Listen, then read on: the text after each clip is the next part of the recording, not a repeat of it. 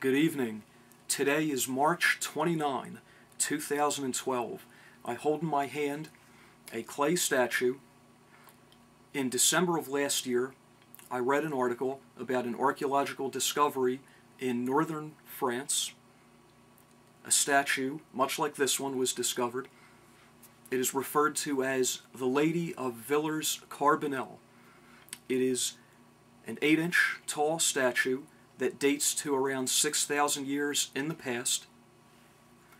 People believe the statue was a fertility object or an earth mother or perhaps even a goddess. In honor of the Lady of Villers Carbonnel, I decided to make a replica of the statue. I began the project in late February. I completed it today. Right now I'm going to show you a step-by-step -step collage of photographs.